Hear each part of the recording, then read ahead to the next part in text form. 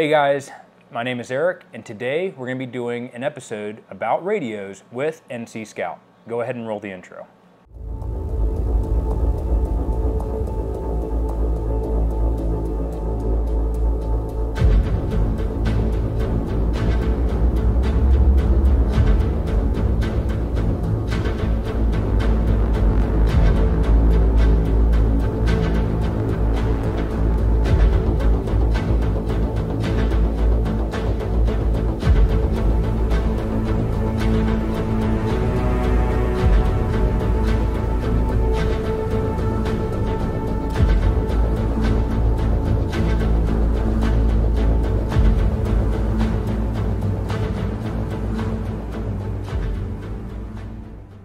Hey guys, thanks for checking out another HatchetCast episode. And today we have a very special episode. We're going to be doing a video on SIGINT and radio communications and how important that is.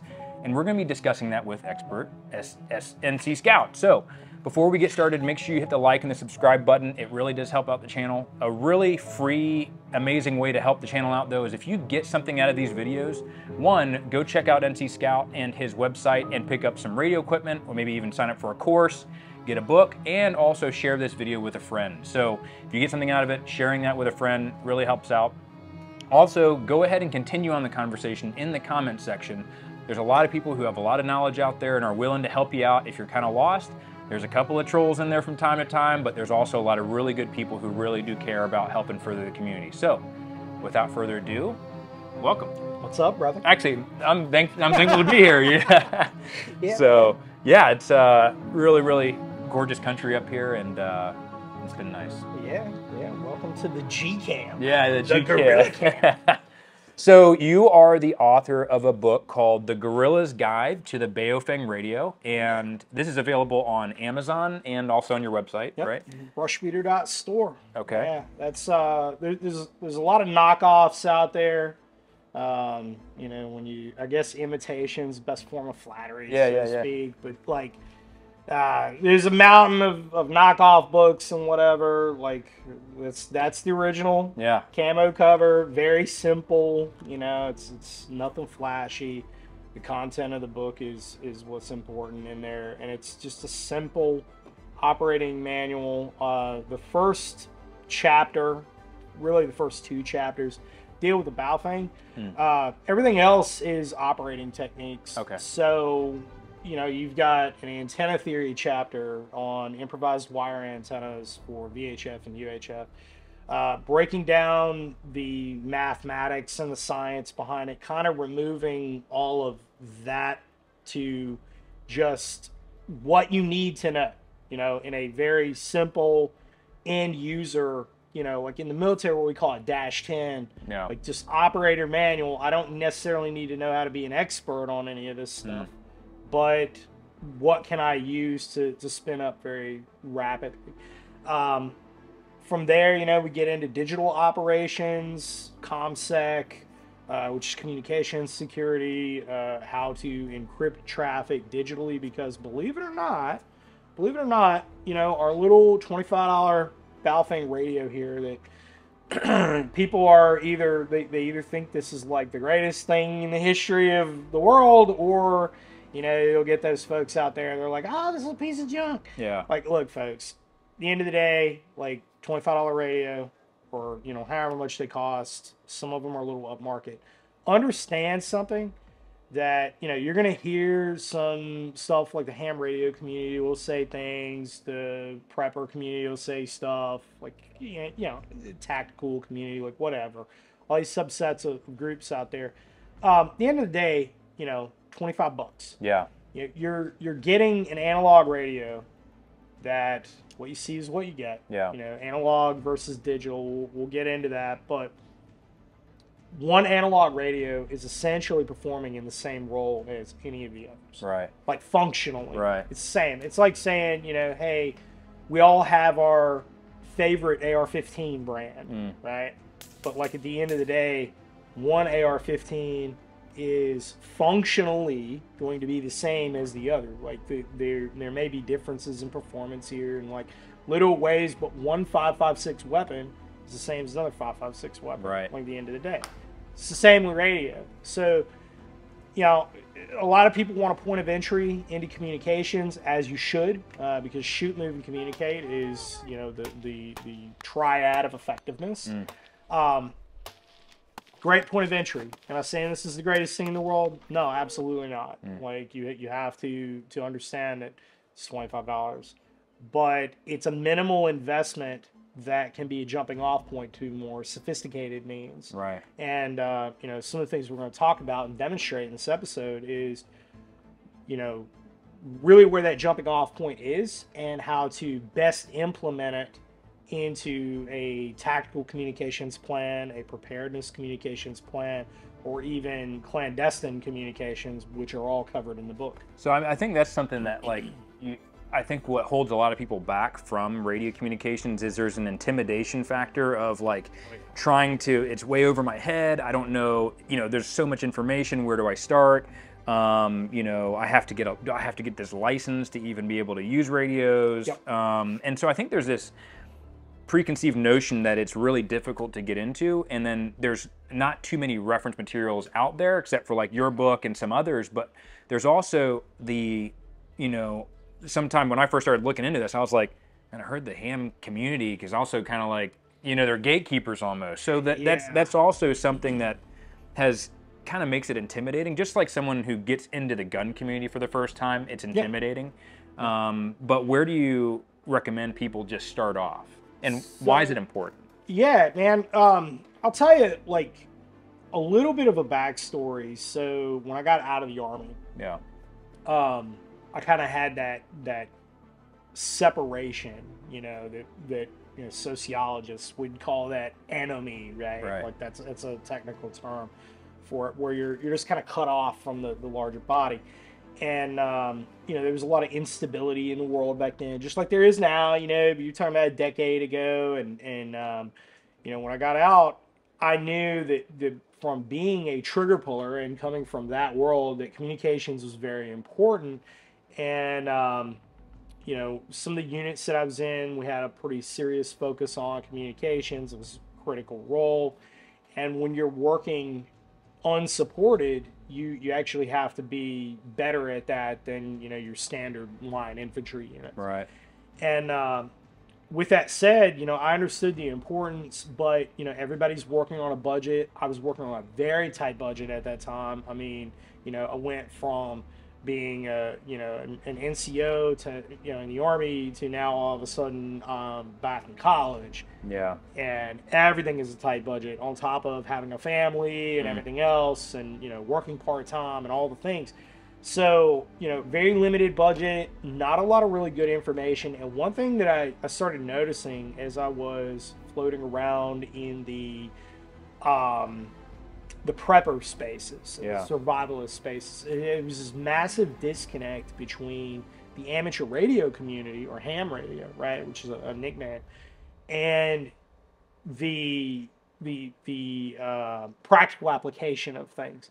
And I want to be real specific about this. Like, I'm a ham, I'm an amateur extra, um, have been for for a long time now, and um, you know, I've, I've been I've been a VE. I give the tests, all that stuff. But something that needs to be pointed out is that ham radio is a hobby. yeah It's a hobby. It's it's it's a hobby that has a lot of practical application to it, but at the end of the day, man, it's a hobby. Like they and, and that's the disconnect is that especially online, there's there's like this I hate to say it, but there's some parallels to the shooting community. There's a strong overlap where there's a lot of toxicity, man. Oh yeah. There's a lot of gatekeeping and there's like brand loyalty and you know and you find that it, with with a lot of stuff. I think it's really unfortunate that guys will you know want to poo poo on people like, oh why are you using that brand? or like whatever.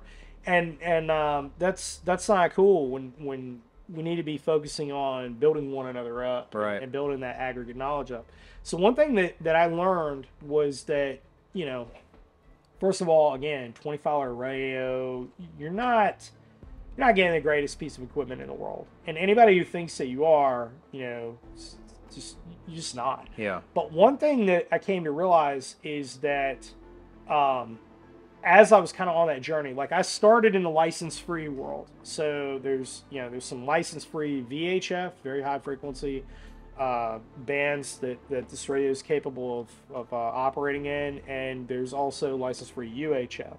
And so, real quick, you know, and I dive into this deep in the book, but real quick, I want to uh, talk about VHF versus UHF. So VHF, very high frequency.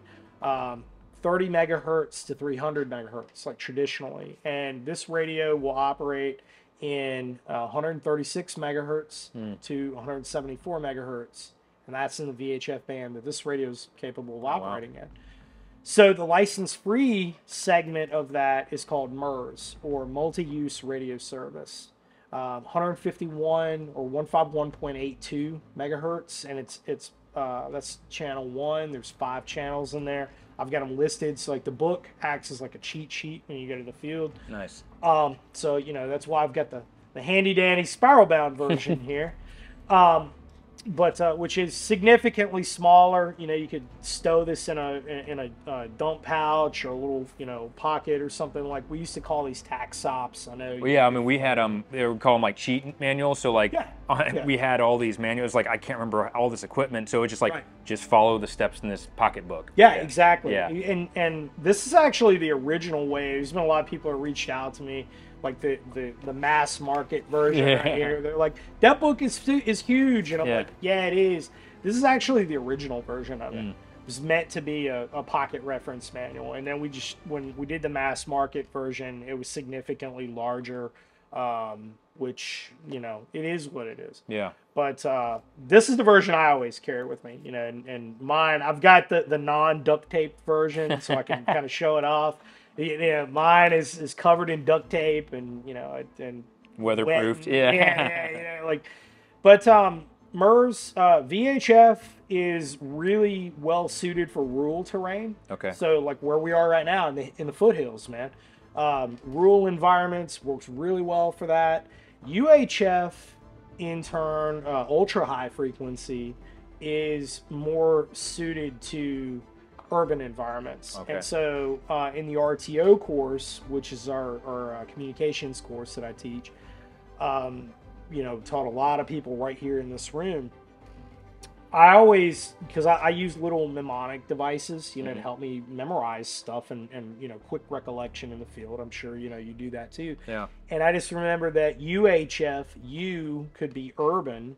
So that's how I remember that. Ah. So when I'm writing a, a signals operating instructions or an SOI, which is our communications plan, I can quickly re- recall, like, all right, my intended operating environment, these are the frequencies that are going to work best for me. Yeah. So now I'm going to uh, speak on UHF, which is some some terms that that people in the audience are probably very familiar with, and that is FRS and GMRS. So FRS, Family Radio Service, and General Mobile Radio Service. So these two are like your your bubble pack radios, your blister pack radios you get from Walmart. Oh, so. Like like when my kids get the two walkie talkies. Yes. Okay. Yes. Yeah. So those are going to operate in the 462 megahertz range, which is solidly in the middle of UHF, right? These radios on UHF will operate from 400 to 470, and Yeah. some of them operate up to 512 megahertz. Um, so you, you're right there in the middle of that. That's a license-free space when it's FRS, and then GMRS is the same channels, but you can run up to 50 watts. And Uh-huh. there's a there's a small fee with a license. There's no testing requirement or anything like that, like it is with amateur radio. And now all of a sudden you have you know a, a radio system that you can use repeaters on and um, in my book i've got a, a uh, appendix in there on how to build repeaters using a Baofeng radio in a you know in a, a potentially uw environment and there's some uh, use cases for that gmrs and frs this is a very effective option for a lot of people Yeah. that, that's going to work really well Mm. and uh, you know it, it it's a good jumping off point for communications because when people come to this most people are coming to the communications world from the survival perspective Yeah. of like hey i i am living in like this area and my family is dispersed out, you know, out, out here, wherever, and I want a means to communicate with them if the grid all of a sudden goes down, or Yeah. like, you know, EMP happens, or like we, we're, you know, we've got CMEs that are coming from from the sun because the our solar cycle is becoming more active now, and there's you know all this fear like the, the grid could be damaged in, in a number of ways, and there are severe vulnerabilities there. So FRS and GMRS presents to us a pretty effective tool.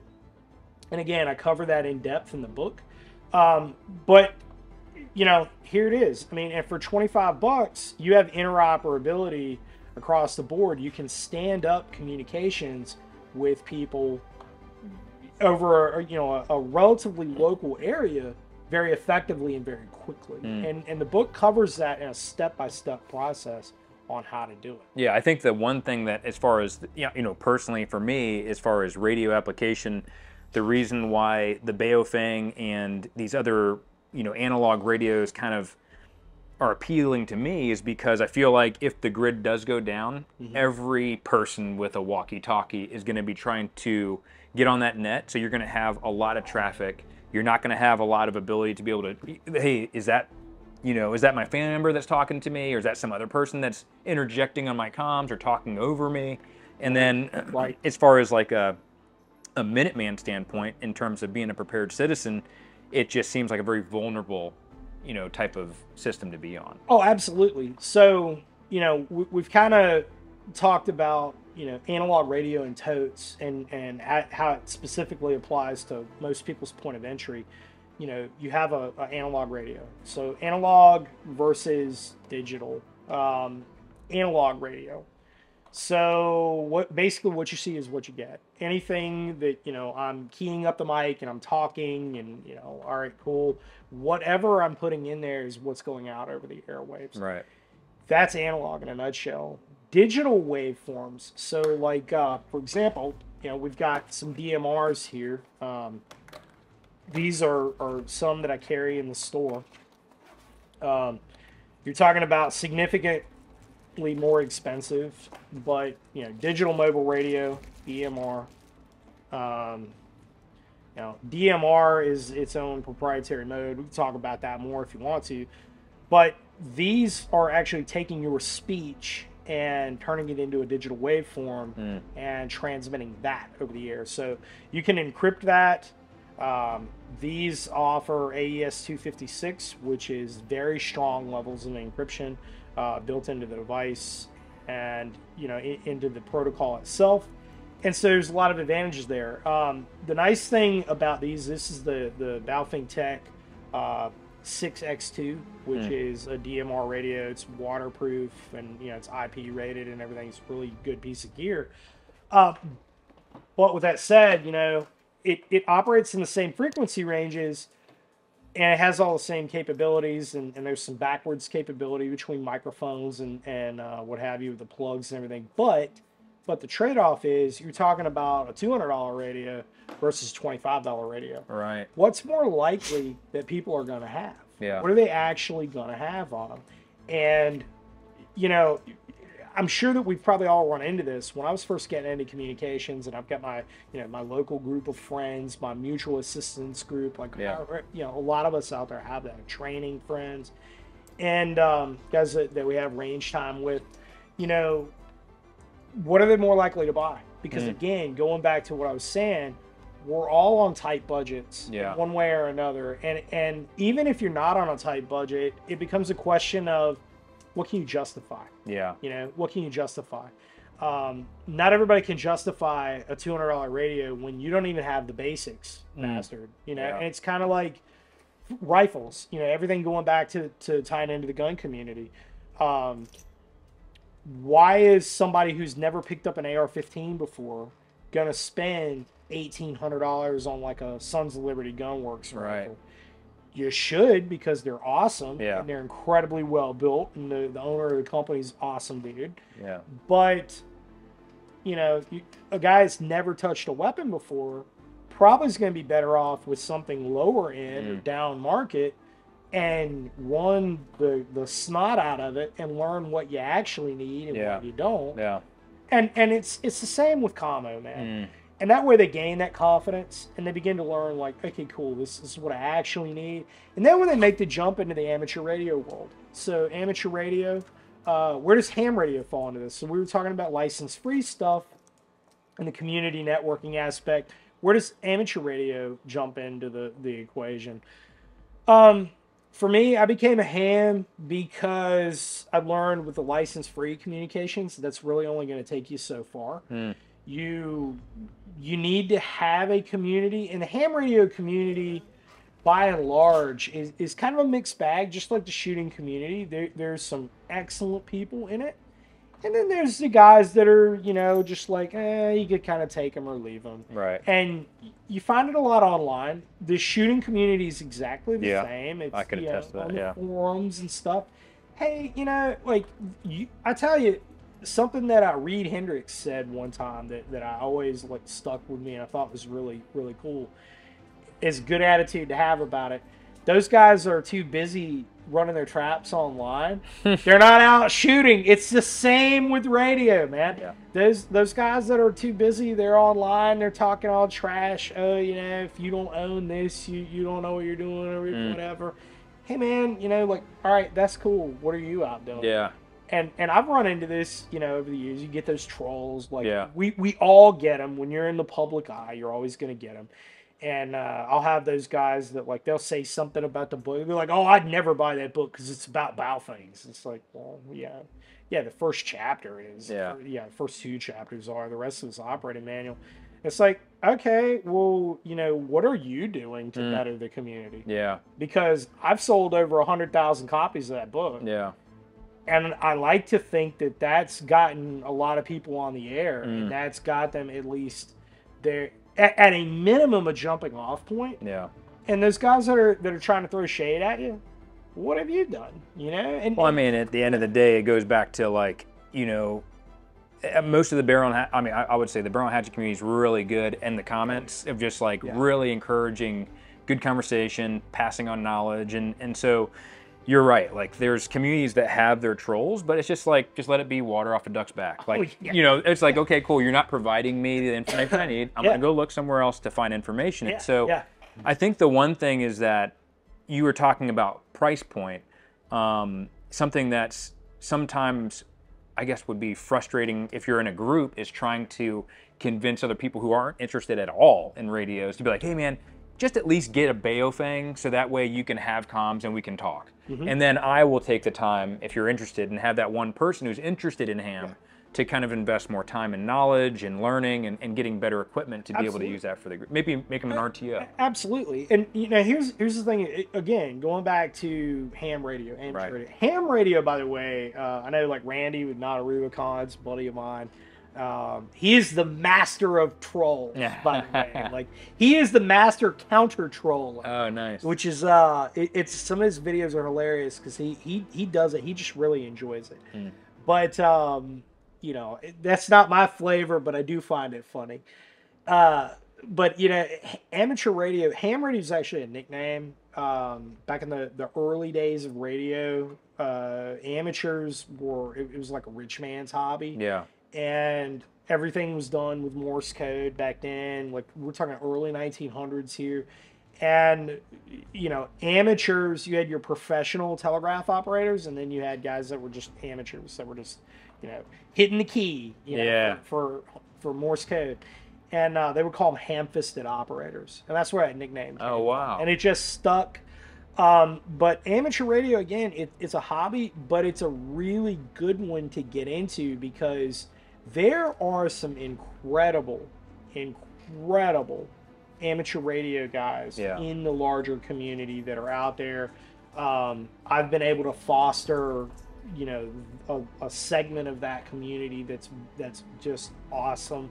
And I get those guys in class, and you know, and, and hang out with them, and we get on the air, and you know, it, it's it is so so awesome, and there is so much more to it than what you see at face value online. Um, but you know, like how that applies to radio. So, case in point, you know, we were talking about analog versus digital, right? So, kind of revisiting that, and and you know, whether it's license free or whether it's GMRS or um, you know, or, or, or ham, you know, um, the amateur radio thing, at least you have people to talk to. Yeah. You know, with license free stuff, it can be hit or miss. Okay. Whether you whether you actually have people. I've uh, taught all over the United States. Um, one of the the most incredible communities that I ever had was out west, an undisclosed state out west. I don't want to give these guys away, but they have a a gigantic community that they've built. And I was thinking that you know this this uh, group of preppers basically that I was going to go do a class for in this undisclosed western state was going to be, you know, the usual for me. It was like 10, 15 people. That's what I was thinking. I had 15 people enrolled in the class. And I was thinking that was going to be about the limit of it. And then when uh, they asked me to speak at one of their meetings, and it was like 200 people. Wow. And the mayor of the town Was one of them. was one of them. And this is awesome. This is a large. Yeah. This is this isn't a town. This is a city Wow. in one of the states. And yeah, I'm not. Some of you are gonna gonna see the video, and you, you y'all are gonna be like, "He's talking about us." And yes, I am. But um, they have a, a GMRS network that has a series of repeaters, and I was just like really inspired by how involved they are Yeah. and all that. And I Yeah. thought it was so so cool. So it, it really it's case by case thing, and, and they've got in their valley and where Mhm. they live, they have this entire network that is just set up that's completely off grid, and it's so cool to see that. So um, kind of jumping back to the the digital versus analog and Right. all of that, right? So DMR. right? so we got a DMR radio here, you know, more expensive, more robust radio. It's a you know waterproof, all this cool stuff. Um, since that digital waveform, you can encrypt that with your you know your, your software on a computer and everything. All right, cool. Yeah, really really cool. However, however, um, once upon a time, there was this general who testified before Congress, and he was the the head of the intelligence community. Yeah. And he said that, you know, we kill people based on metadata, right? Hmm. So the general I'm talking about is Michael Hayden, and he testified before Congress and said, we kill people based on metadata. He was exactly right. Yeah. And in many, many such cases, time sensitive targeting, targeting cell phones, um, you know, and, and eventually, you know, something that, that we always said overseas is that, you know, all, all the dumb ones are dead Yeah. which is a fact, and they're getting smarter and smarter with with each insurgent that we kill. They're getting smarter about what they're doing, and eventually, uh, they didn't completely abandon phones, but their TTPs would evolve with their casualty rate, Mm. and um, what they eventually started doing when you know by the time ISIS rolled around was they were utilizing DMR very heavily um, we began exploiting that, and you know the same is true in Ukraine through 2014 with the conflict in, in uh, the conflict in the Donbass, Yeah. And then you know going into uh, Euromaidan and and all of that, like the, the fallout from that, and then the the subsequent invasion, the Russian invasion. Uh, DMR played a digital mobile radio played a which which is a proprietary mode Yeah. played a very heavy role in all of that Yeah. because it offers such a strong level of communication security Mm. built into a basically a plug and play device. Well, that also has a trade off. It carries a lot of metadata with it, Yeah. and we were utilizing that to high effect against ISIS. And that's one of the things, like in the online communities, the shooter communities that, that are kind of embracing communications now, Yeah. they recognize the value in it. There's a, uh, for a period of time, there's a heavy emphasis is placed on DMR, and it's kind of warning people, like, don't, don't necessarily get into the trap of this is what we're doing and this is all we're going to do. Put all your eggs in one basket. Exactly. Yeah. Because, you know, let's say like the world has gone sideways, and, you know, as we all know, you've been overseas, you've seen, you know, w- when the world goes sideways, what a war zone looks Yeah. like. Nothing like violence and chaos doesn't exist in a vacuum Yeah. right? There, there always going to be, there's always going to be a power structure that is trying to establish itself or reestablish control. And when it does that, you know, normally there's going to be conflicts between competing power structures, Right. right? And that's where civil wars and and, and sectarian violence and, and all that stuff exists. Well, you know, a lot of times with preppers, the survival community, and you know, people are kind of seeing, um, you know, there's a lot of fear about how things deteriorate in the United States for a variety of, of vectors. You know, you have economic chaos, you have uh, Natural disasters. natural yeah. disasters, things like threats to the grid. Yeah. We've got you know Chechens that are that are targeting you know our, our soft commanders you know Yeah. here on on a homeland. You know, it's another big story that just broke.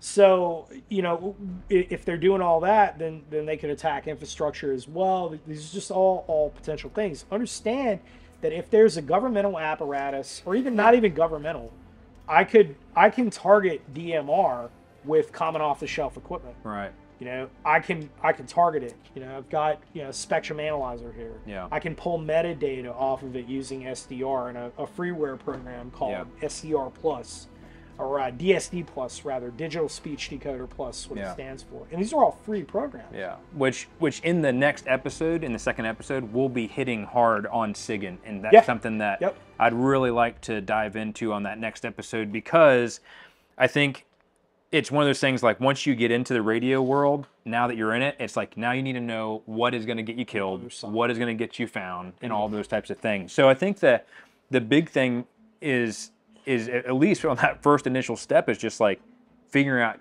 why is it important to communicate? What's what is the importance of that? Exactly. And and so a lot of dudes get deep into the weeds on the ComSec end, Yeah. and that's all they dial in on. And they fail to realize like you know, there's a barrier to entry first on that because Right. it's it's it's expensive. Sure. Um, there's you know when when most people are more likely just to buy this and justify that. So now we be, we need to really focus on okay, how do we make this most effective? Mm. Like, all right, this is the weapon you have. Maybe not the weapon you want. but Yeah. This is the weapon you have. How do you make this most effective? And believe it or not, we can turn this into a digital radio as well. All right, not a digital mobile radio, not Yeah. DMR, but we can actually turn this into a digital radio. And the way that we do that, so uh, got some tools here. that we'll Perfect. Just take apart. Uh, first thing is, and by the way, this is a Baofeng radio as well. I know it, you know, looks like a, a It's pretty Harris cool looking. 152. yeah, it, it's it's that form factor. Yeah. That's not why I like these, by the way. Um, it is, you know, these are obviously MBITR sized, uh, Harris Falcon 3 sized, but they push out 10 watts, Wow. which is really cool. The batteries on these are friggin' huge. They are uh, 1.2 amp hour batteries, so like the, the battery life on these are, are really long.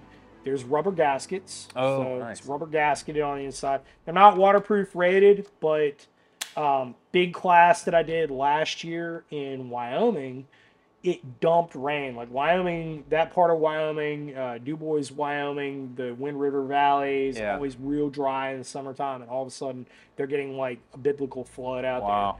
there. One of the Bubbas in class had some 152s, and he left them out overnight. Like major minus, Yeah. you left your equipment out, you know, like.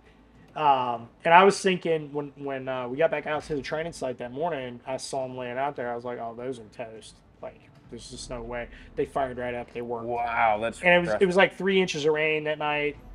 They're still working. Wow. And I, I was blown away. I was like, "Dude, there's no way." that That's a they're testament. Yeah. And they worked. Yeah. But um, anyway, 152 puts out 10 watts. Um, I really like it because the screen's large, so I can see it like if I'm running this at night Mhm. under nods. I can still see the screen. Um, you know, like when we're running nods, depth perception is, is a problem. I've got, you know, and, when I'm in the field, I'm always wearing gloves. Yeah. So I can index the buttons and the controls. They're a lot larger because, you know, you, you see these little, little tiny buttons on here. You try and index these with gloves, you're going to fat finger that thing pretty bad. Yeah. It just ain't going to work. These significantly easier to run in the field. Um, but uh, I've got a, and, and again, these are like, these are right under $70. Oh, nice. So, you know, still not a, a huge chunk of change on that. I've got a data cable here. All right, so this is uh, these come from Baofeng Tech. I have them in the store. These are uh, they call them the APRS cable. APRS is a, a, ham radio thing where it's you know like a geolocation tracker and stuff, um, but we're not using that mm. because we don't want to be putting that metadata out. Right. Right. But all this is, at the end of the day, you've got a microphone jack here and then the audio jack. And the next thing that we're going to do is we're going to grab a Wi-Fi only tablet. All right, so you can go to uh, Walmart and you know pick up one of the fifty dollar uh, ONN tablets. Yeah. Like you know, if you want to go up market, you can get an Asus or yeah. Samsung or whatever. But here's the deal, folks. Make sure that it is a Wi-Fi only tablet. Mm. Doesn't have a data plan. There's a SIM card in it because when you do that, what you basically have is a big cell phone. Okay. Right. And what we're trying to do is mitigate that metadata. Right. Cell phones are always being tracked. That's a whole other rabbit hole. Um, even when they're cut off, they're not really off. We can, you know, there's a number of ways we can exploit all that metadata, right? So what we're going to do is we plug this in into the microphone jack, plug it in into the audio jack, and I have a freeware program. You want to cut the radio on. Perfect. I've got a freeware program. We'll get you set up here. Let's cut this on so that that uh, they can hear the yeah. audio output.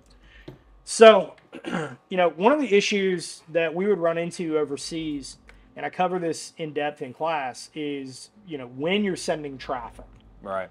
Um, usually there, there's a reason. You know, we're not we're not getting on there and just you know having a, a phone conversation and hey bro, what's up? Like no, we're not we're not doing that. There, there's some sort of reason that we're sending that mm. traffic.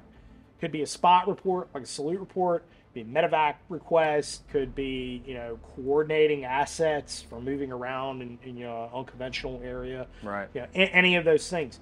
Well, you know, there's errors in transcription over right. the air because something that I emphasize in class, and I've seen this many many times. I know you have too.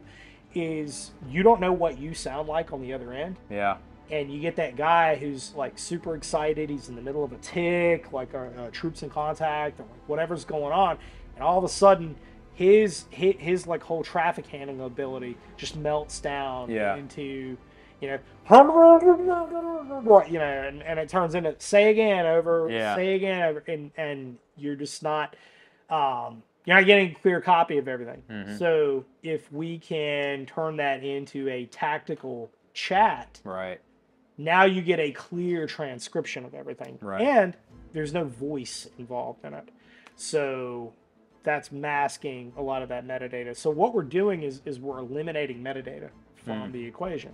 So there's a freeware program for Android called and FL message, AND. Uh, so Alpha, November, Delta, Fox, Lima. Yeah. Mike, Sierra, Golf, and FL message. 100% free. You can download this I strongly recommend if you're setting up a tablet for this to sideload it, uh, meaning you you get the APK file, the Android programming kit file, off of like GitHub. Uh, and FL Message has a GitHub, so you can get it from there. You get a clean install, and then install it from that laptop off the internet.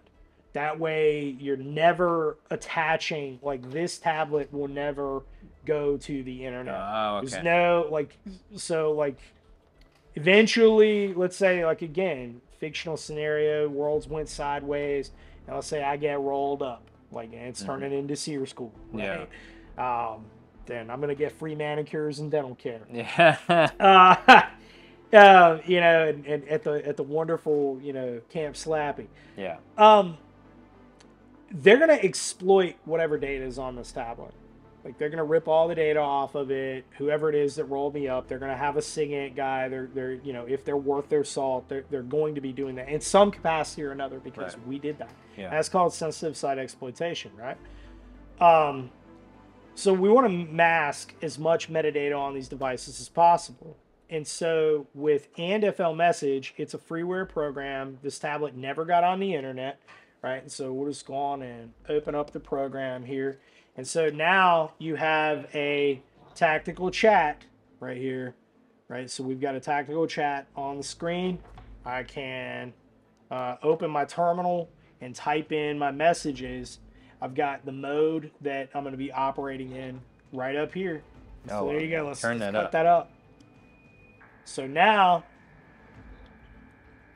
so you just sent me a radio check. Let's see. I pulled it in. So if you want to just type something in, and folks, y'all can see it. Hold this up to the microphone so you can hear the audio output.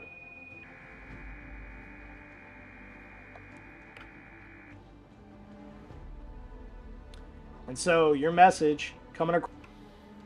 All right, so you know, if I want to reach out pretty far and I don't want to have just inter- rely on inner team or just use it for, you know, I'm in the front yard. Can you talk, call me in the backyard? Like I want to start talking to my neighbors who are like, or my friends who are maybe a few miles away. Right.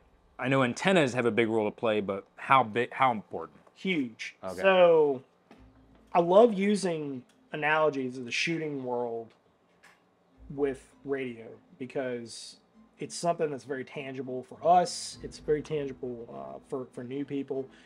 You know, when we talk about precision marksmanship, the barrel makes all the difference. Right. Right. So there's no way to make up for a trash barrel if if that one piece of the equation is not there, then nothing else is is really going to matter. Well, it's like that with antennas too. It, it doesn't matter like all right, so we've been talking about the bow thing and like point of entry into communications and everything. All that's really cool, but if you don't focus on the antenna itself and pay attention to you know the math that goes into it because there is some math unfortunately because it's all physics folks.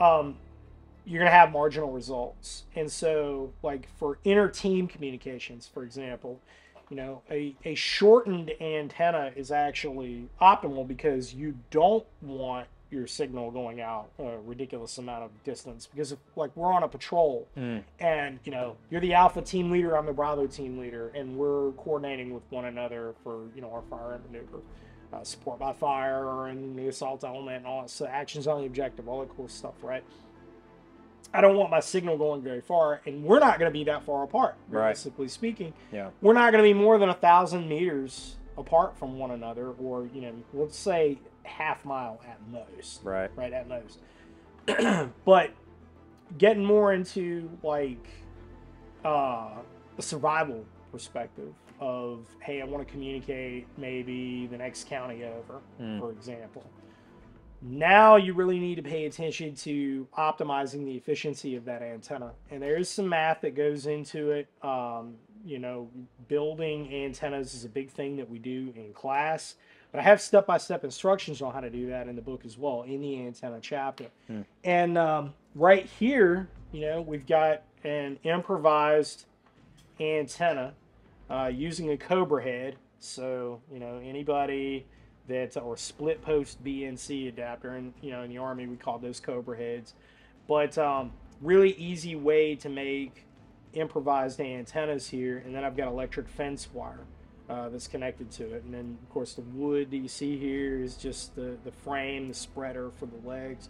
And I go into the math of, of all this and, and why this is built. This is built for VHF Mm-hmm. um, antenna. I think they cut this for for MURS one, which is uh, 151.82.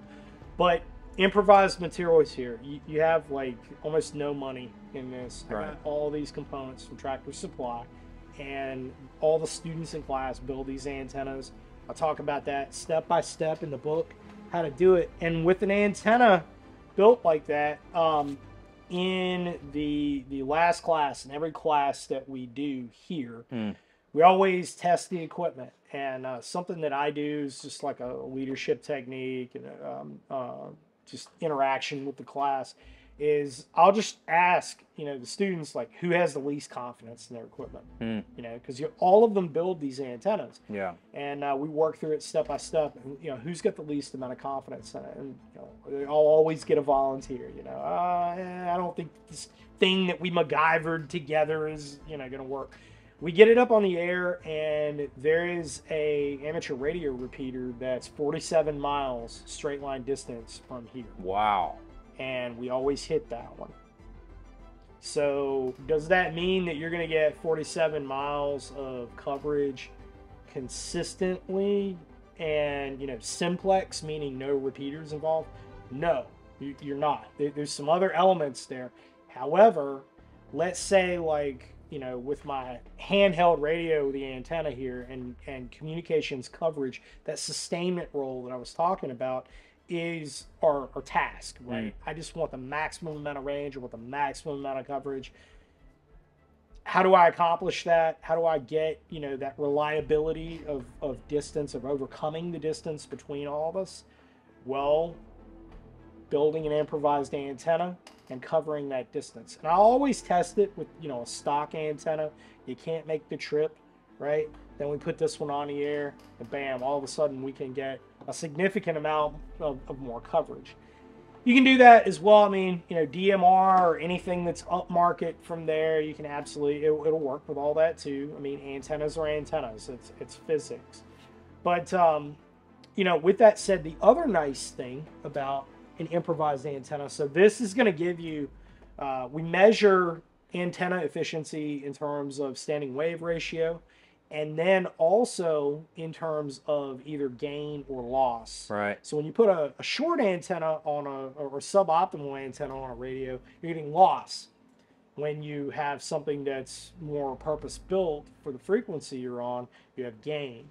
And this antenna design, which is uh, called a ground plane antenna or a jungle antenna, uh, that I go into in the book, there's an interesting history from the interwar period between World War One and World War Two about it, but or how it came to be. But um, that has six dB of gain. So six decibels. So like you know, talking about suppressors, we've had Right. like uh, colorful conversation behind the scenes on cans and you know all, all the things and the hearing say. Well, the same applies to the signal strength coming off of your antenna, Mm. and we measure that in decibels as well. Six decibels of gain is giving me a lot. It doesn't sound like a lot because six is not a big number, but let's say like, all right, my my uh, Baofeng AR152 here in in an MBITR pouch, um, which you know this is my design pouch. It's up on the store, but this radio pushes 10 watts, right? So 3 dB of gain or 3 decibels of gain is actually going to double the effective radiated power. Wow. So 10 watts would become 20. Well, if I double that again, it doubles on itself again because gain is logarithmic. It's in orders of magnitude. Mm. And so now if I have 6 dB of gain on this antenna, 10 watts becomes 20 watts becomes 40 watts. And that's at no no extra power, there's no amplifier, you're not you're not actually boosting the power output. What you're boosting is the signal strength Mm. because of the efficiency Right. that's being put out. So, what does that also do for us? Because I'm, I'm big into the bang to buck ratio. It also is going to increase our ability to receive signals. Hmm. So, let's say, um, you know, I'm here, you know, in, in my guerrilla camp, prepper camp, base of operate, whatever, you know, whatever fancy term you want to come up with, right? But we're here, and I'm going to put one of these radio uh, antennas up, and I've got one radio set to just monitoring things, right? Whatever uh, frequencies might be common traffic, you know, the uh, sheriff's department, emergency services, all that stuff, right? I'm going to be listening to all that for situational awareness.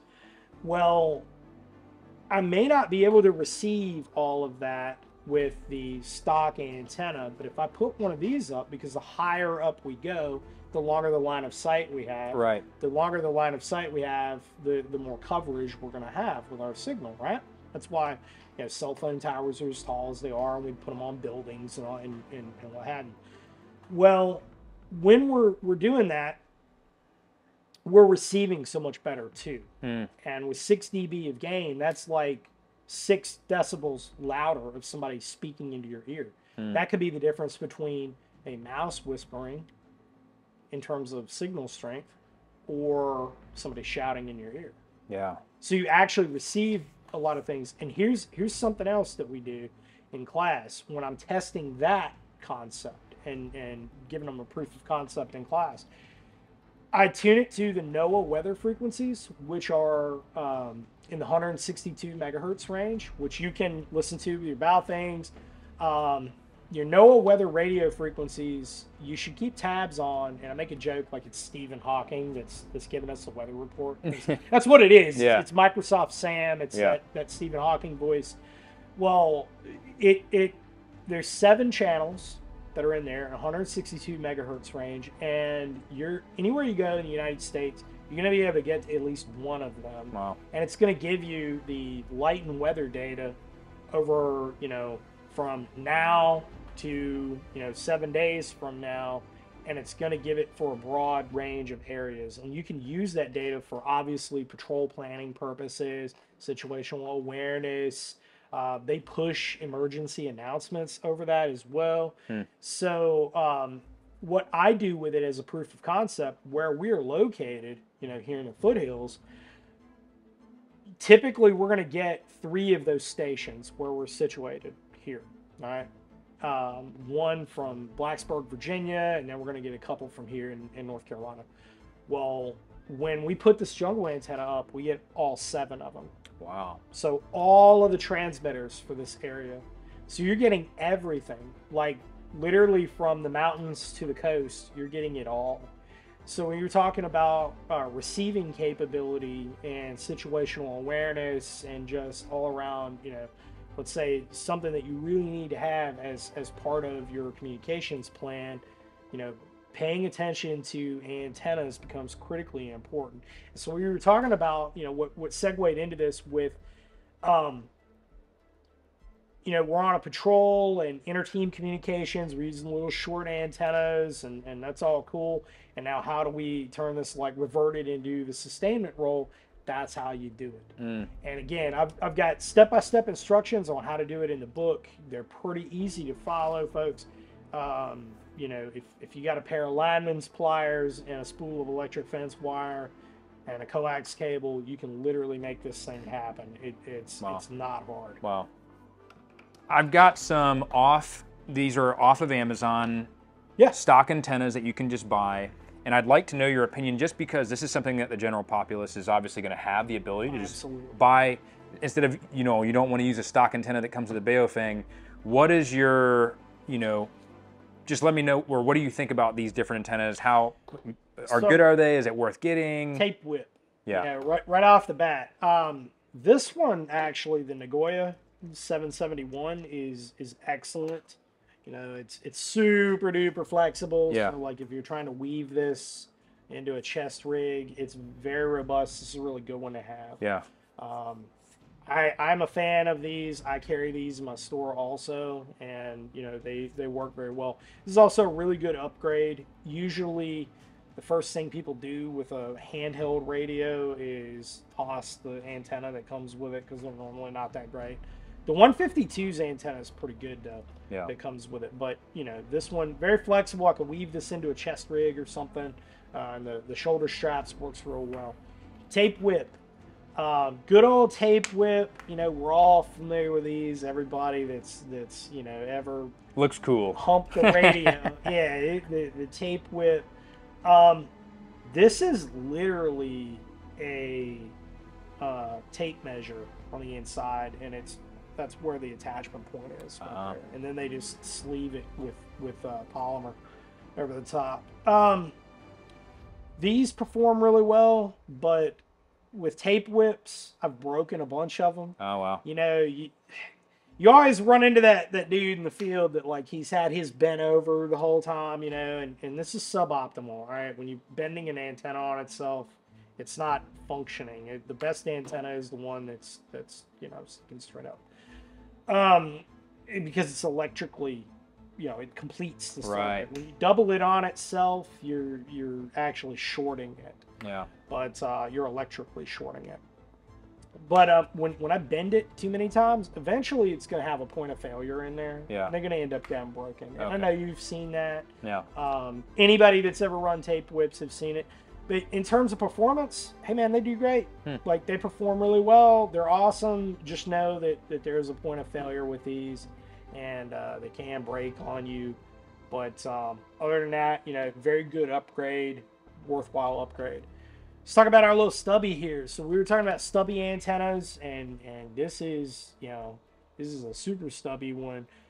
Very low profile for the inter-team communications. This is really what you want Yeah. because again, if I'm only trying to communicate over, you know, a few hundred meters, half mile at most, here you go. You you know for ComSec reasons, you'd probably want a short antenna so your RF isn't getting intercepted or detected.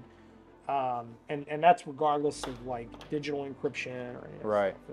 But this is probably what you'd want. Here's another uh, benefit of having a stubby antenna like this one is you're probably not going to break this. Right. Like when, when I'm busting brush, I'm you know doing movement to contact, we're on patrol.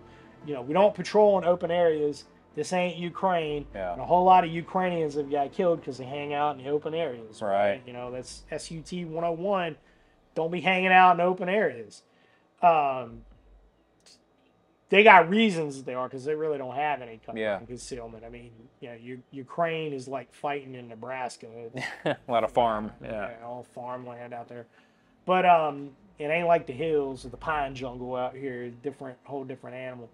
But when you're moving through vegetation, you know you, you're gonna get your antenna snagged up on stuff. They're gonna get broken. Many such cases.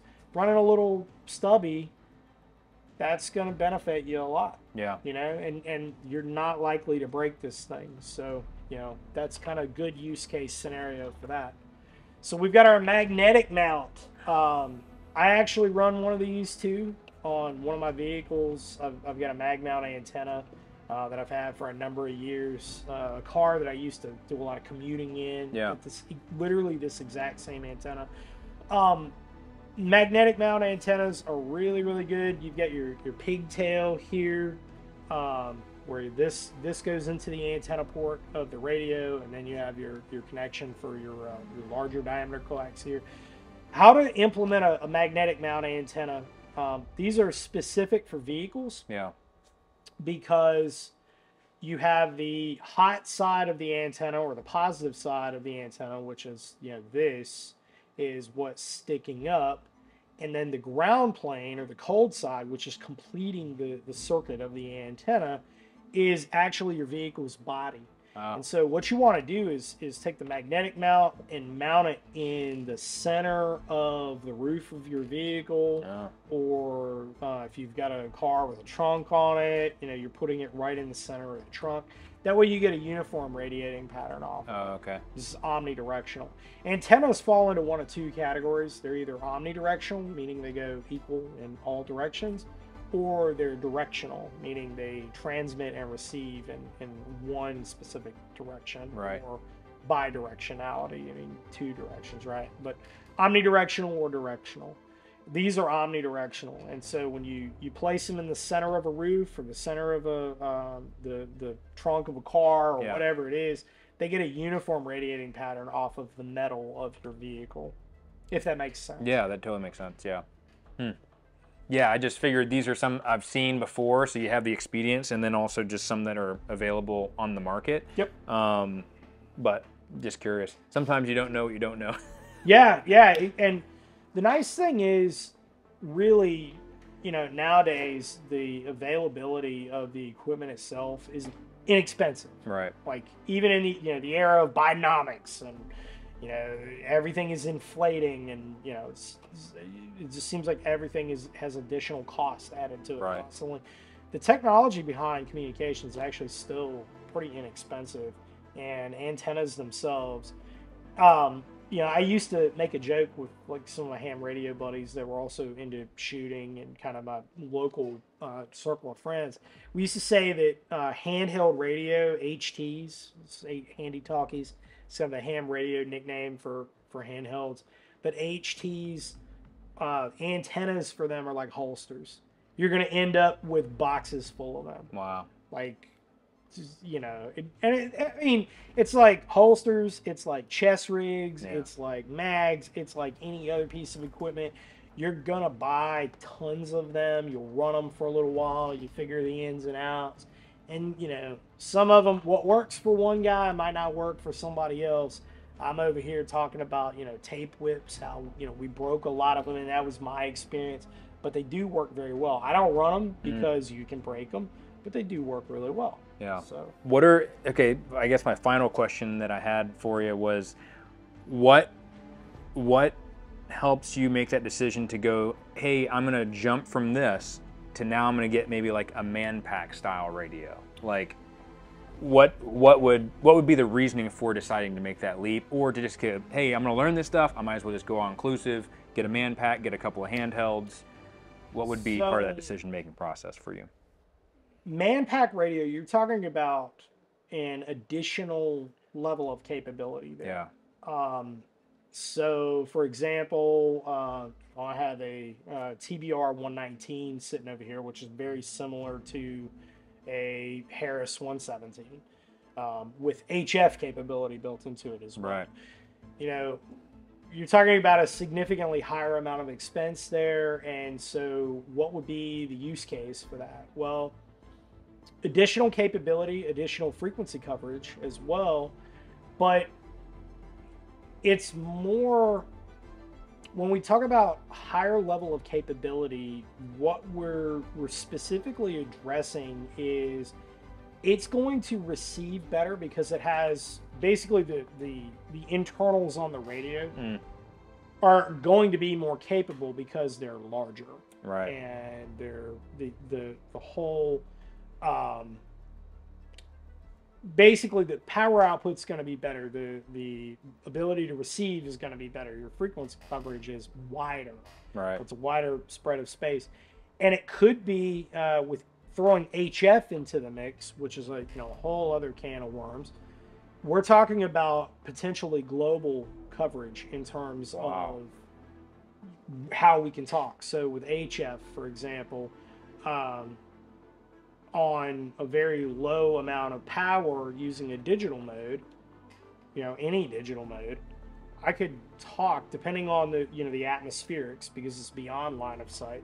I could talk over very very long distances across the United States, you know, and, and internationally as well. Hmm. And in class, what we do with HF when we get into the HF block of instruction, obviously build an HF antenna. Those get very large, and we talk to areas in the region.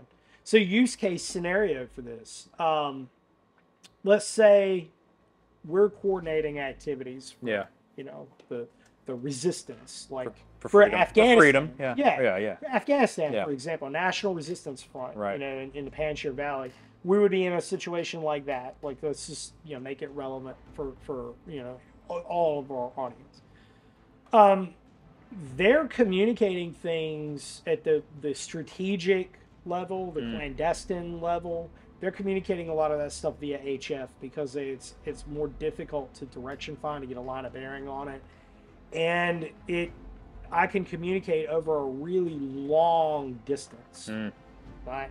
So let's say like I'm located here in North Carolina and I'm coordinating with you in Florida or another group of guys, you know, on the Mississippi River Right. or you know, uh, people out in Wyoming or you know, wh- whatever.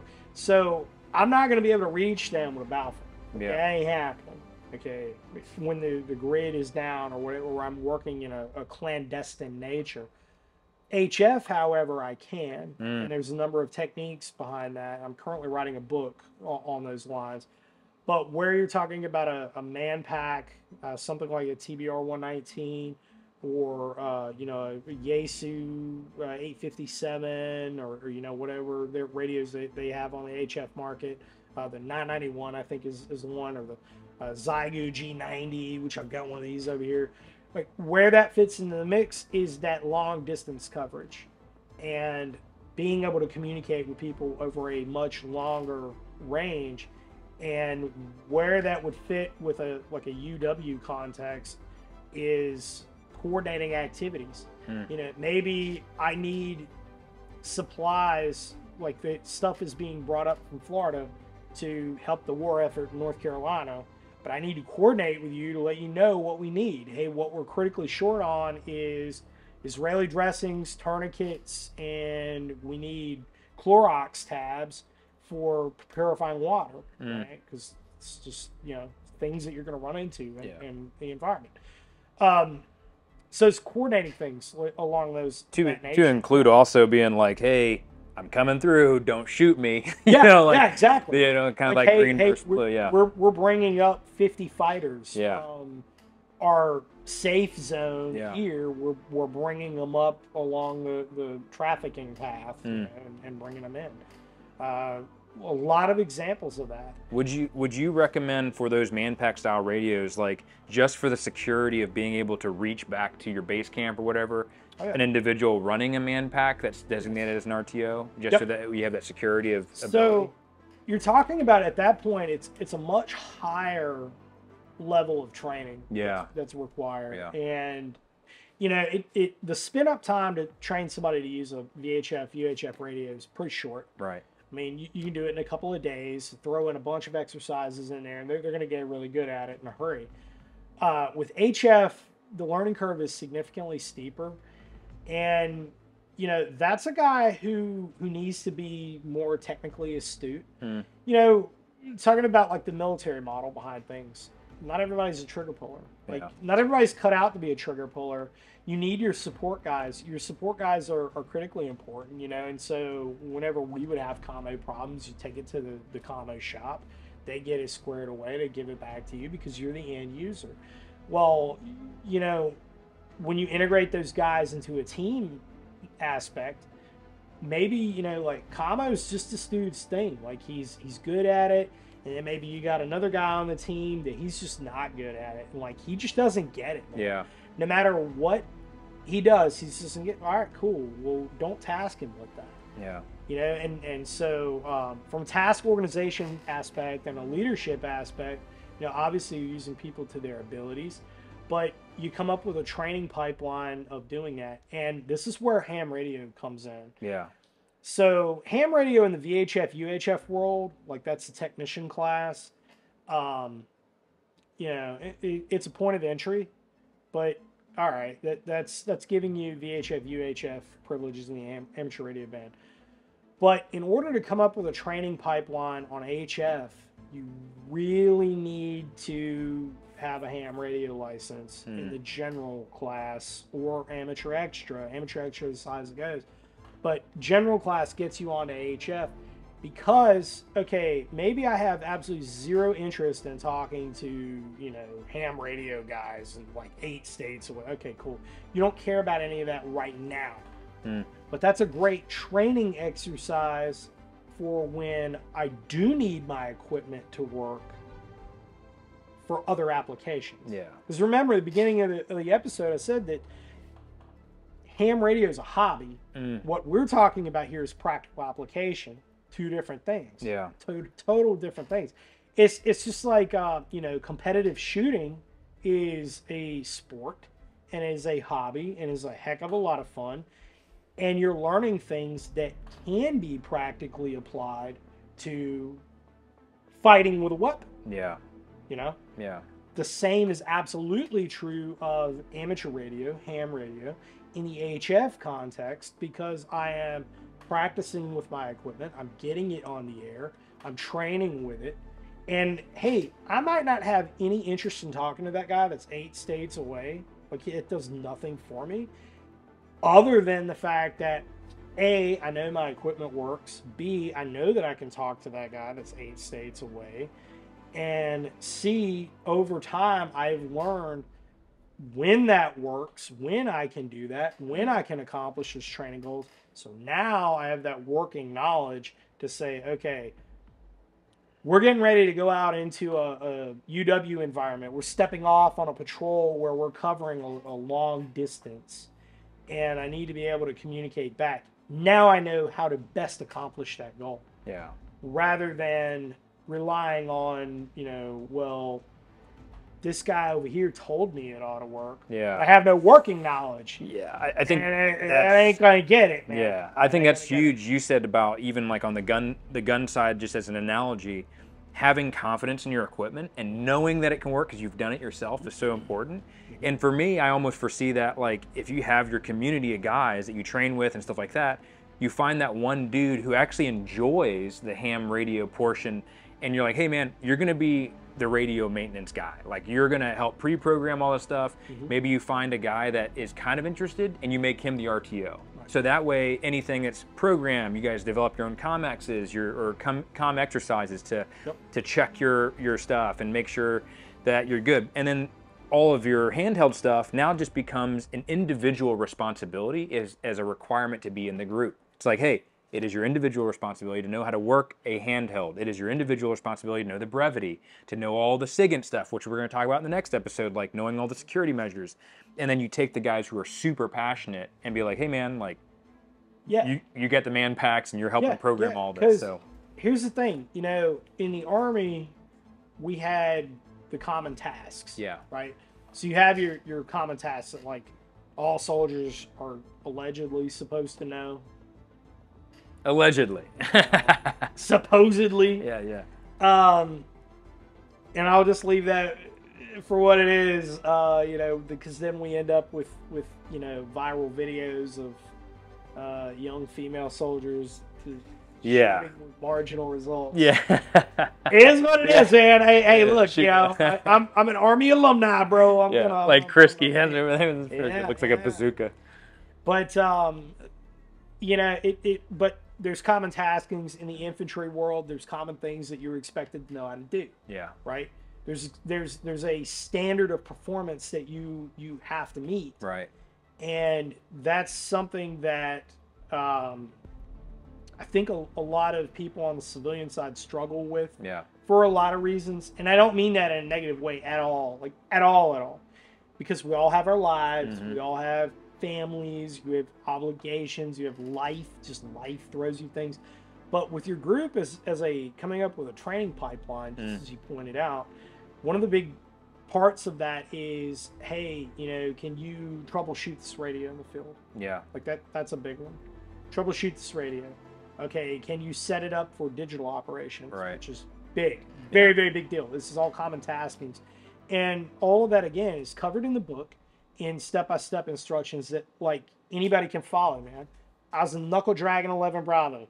So I wrote it from that perspective of Yeah. like knuckle dragging eleven Bravos. If they can follow this book, then the goal is accomplished. Mm. And anybody in the world is going to be able to follow it if they can follow it. Yeah. So, um, coming up with those common taskings and that benchmark of performance, you know, nobody expects a group of guys on the civilian side to, you know, be a master of all the things Right. because you can't even do that in the military. Yeah. Like you, you, I can't expect a guy um, in any unit that I was in to be just a subject matter expert on all the doggone things. Now I've met a few people that think that they are, but Oh yeah. uh, and I've got a few guys who, who Yeah. really dig. Yeah. Like they just they're just freaks of nature. Just, they just they just strive for all that Yeah. knowledge. But um you do need to have a base of knowledge. And so the double edged sword there is like having having a guy who does specialize in combat, yeah. but not being overly reliant on him and him alone because I've, I've seen this a lot groups that, that have contacted me for training and we've run private classes and I've had them in the open enrollment classes where they're like, oh, well, Ted over here is our, our commo guy. Yeah. It's like, yeah, but Ted's on the other team Mm, and y'all are two terrain features away from one another Yeah. and you don't have comms Yeah. Well, Ted normally fixes this for us. Yeah, but again, Ted ain't here, so what are you gonna do? yeah. Well, how do you fix that? Mm. So Well, yeah, it, it everybody has to have that basic skill Yeah. level competence. Yeah, I think that's the thing is like you said, the basic skill level competence.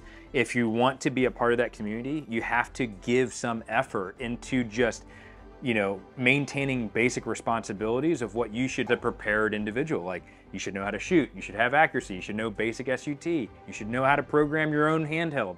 And then you have that enabler that you designate in the group to be the RTO along with the master guy who is running maybe if it is two different groups they have one guy that runs that and the RTOs that go and they figure they learn under him. So I think though like having that handheld capability and also you know a, a general understanding of being able to troubleshoot, troubleshoot makes you just more effective as a group, but it's also like basic responsibility if you want to be in a preparedness Yeah. environment. So I mean, you have to have a benchmark of performance Yeah. for physical performance, for marksmanship performance. And I'm not saying like, you know, you got to go out there and, and try to be a doggone tier one pipe hitter. Like, no. But can can your guys engage target? Can they put rounds on steel at 300 meters? yeah, You know, like in the scout course, we get them out to 400, Mm. 450 if, if we've got the space. Here, you know, at my place on a range, we've got 450 meters. yeah, Uh, but can they put rounds on steel that far? Okay. When it comes to commo, can you troubleshoot your radio if it's gonna do what radios love to do when we have them on our kit? You know, dump their fill or Yeah. like, you know, just get off frequency or like whatever happens. Can you troubleshoot that? Can you do it under nods? That's yeah, the big thing. Yeah. Can you do it under nods? Because everything changes under nods, Yeah. man. Like all of a sudden, like, oh, I have to. you know, we were having that conversation Yeah. about you know the thing that you do in, in your carbine Yeah. course under nods, and I think that's that's a really cool training Yeah. technique.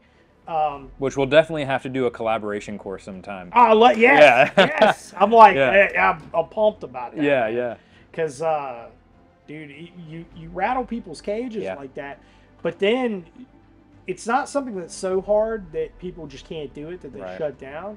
But it does test people's mettle a little Sure.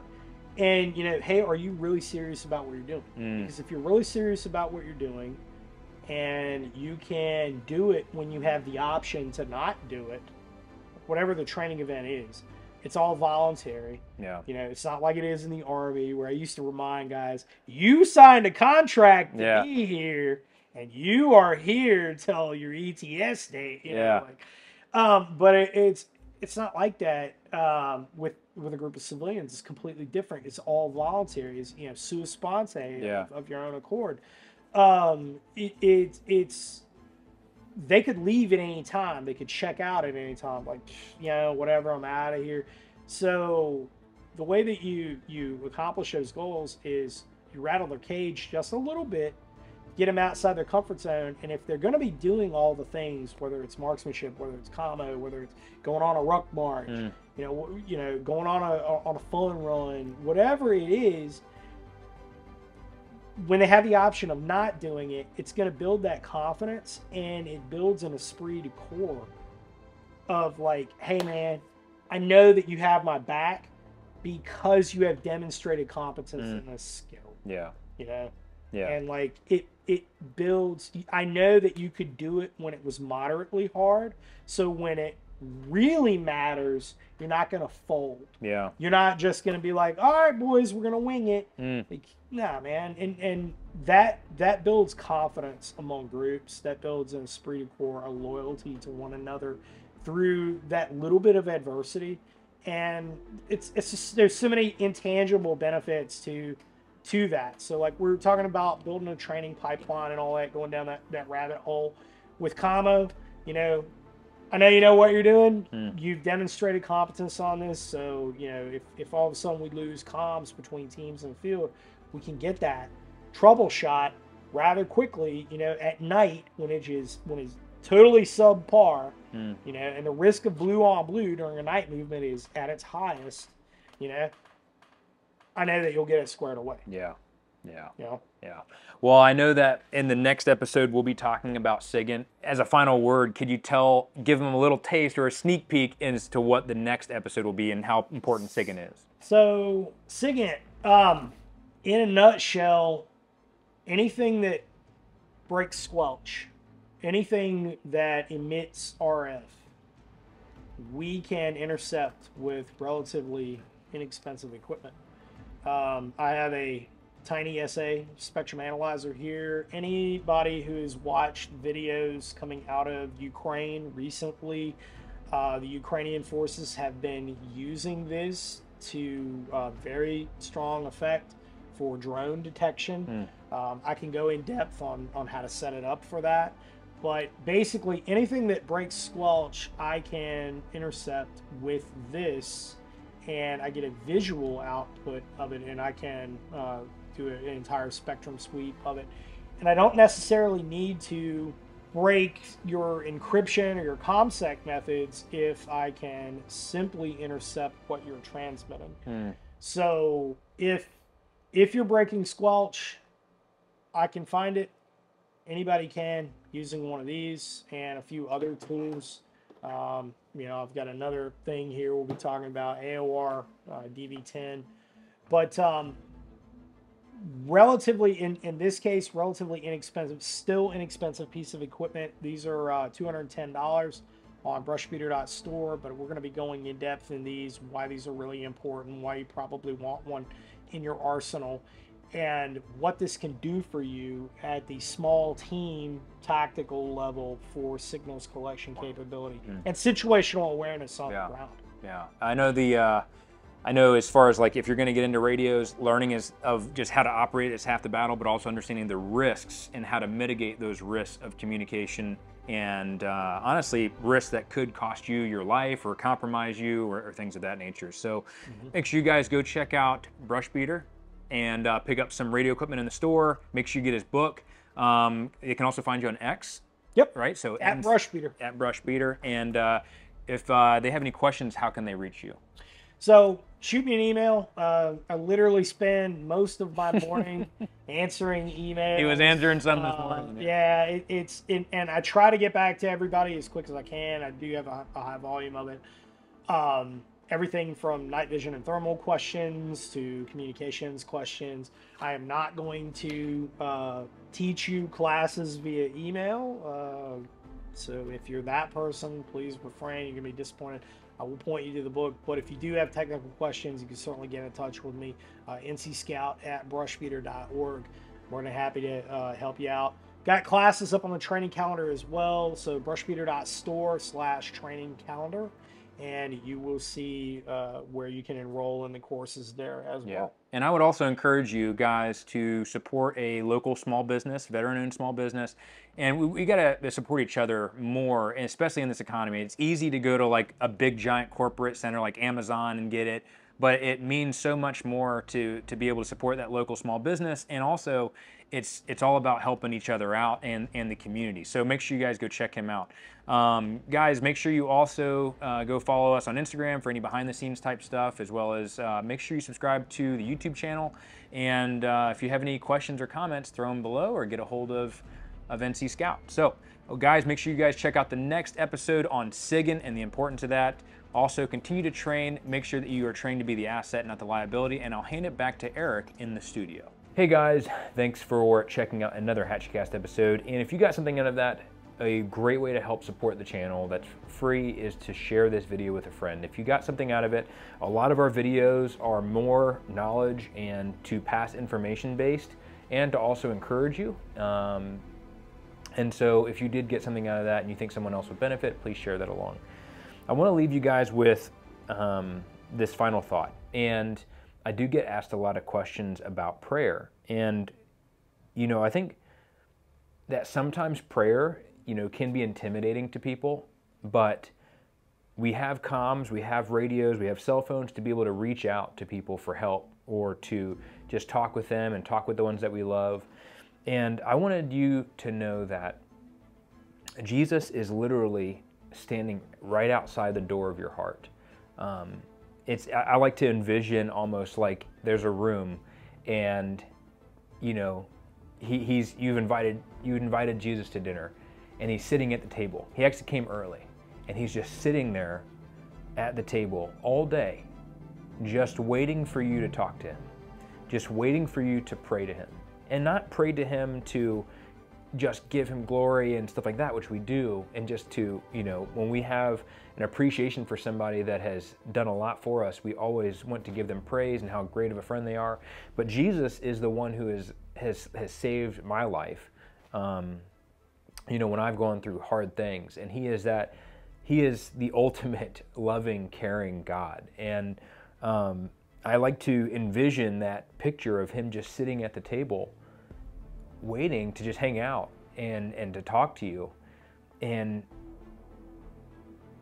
you know there's so many times in my life where I've come and I've sat down at the table and he may have been waiting there for hours you know? And I come and I sit down at the table and I give him you know 2 minutes and then I leave.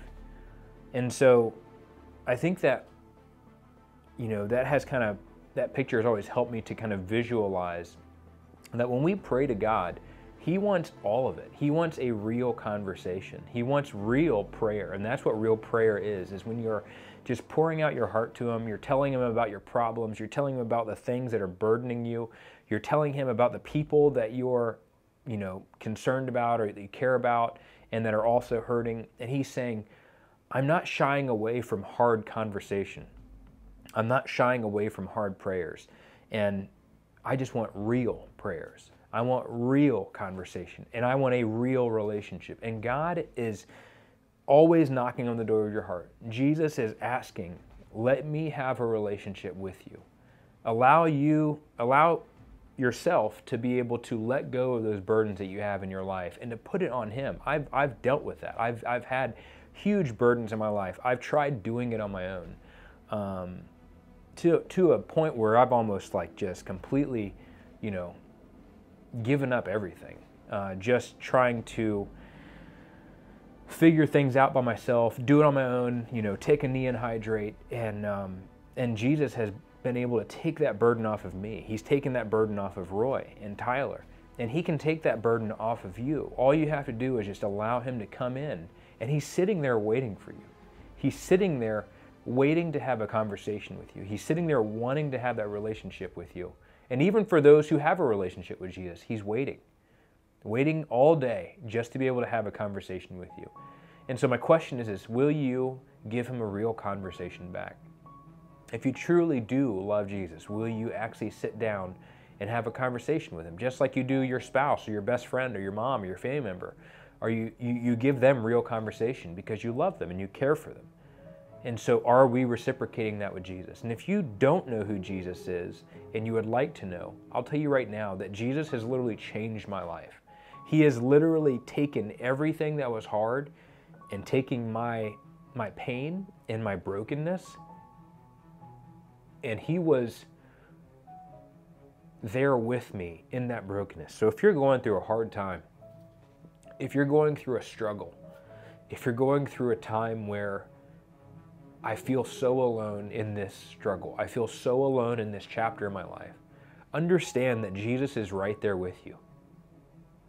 You may not know it, but He's there. He's there with you, and His heart is broken with you. He's dealing with those challenges with you, and He is asking, just give me those burdens. Let me take that from you. Like the Bible says, come and be yoked to me. My burden is light. And so I want to leave you guys with a passage that has really struck a huge um, connection point in my heart and has really helped me out. And I wanted to leave this with you guys. And it's Philippians chapter 4, and we'll start at verse 4. Rejoice in the Lord always. I will say it again rejoice. Let your gentleness be evident to all. The Lord is near. Do not be anxious about anything, but in every situation, by prayer and petition, with thanksgiving, present your requests to God. And the peace of God, which transcends all understanding, will guard your hearts and your minds in Christ Jesus. And so, guys, if you guys are going through a rough patch or you're having a hard time, give it to Jesus. If you have, you know, you're looking for prayer, comment it in this video. Send us an email at team at. If you're curious about who Jesus is and what it's all about, and how He can help heal your life and how He can be there to walk you through the hard times, let us know. Send us an email and we'll get a hold of you. And um, I just want to say thank you so much for, I really do mean it from the bottom of my heart. And Roy and Tyler, we also mean it from the bottom of our hearts. Thank you so much for supporting this channel. And um, we're so thankful that you guys are here. Anyways, thanks so much again. Guys, make sure you train to be the eternal asset, and we'll see you on the next one.